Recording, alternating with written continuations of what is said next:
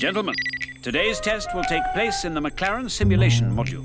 It will require your complete concentration. Huh? Complete what? Do pay attention, chaps. What happens in the simulator can be highly significant for next season. Please fasten your seatbelts and ensure seat backs and tray tables are in the upright position. We'll be traveling at a height of approximately four feet. Please turn off all electrical devices and mobile phones. Why do they always say that? Uh, I don't know.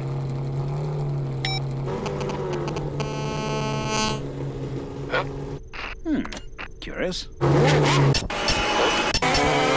Uh, sorry, chaps. Slight glitch in the system. Cool. Hey, this is not cool.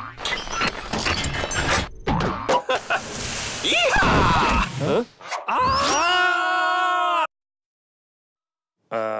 why have we stopped? I think we're buffering.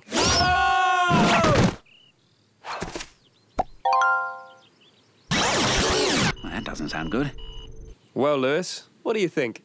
Hmm. You're gonna have to make your mind up soon.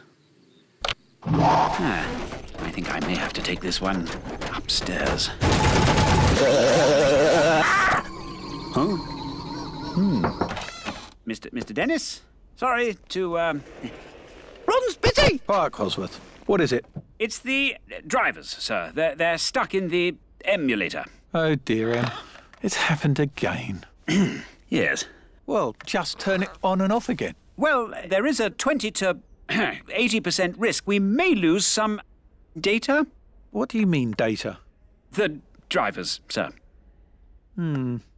Well, I'm a busy man, so let's get on with it. Get on with it! I can see your bits, mate. It's pronounced bites.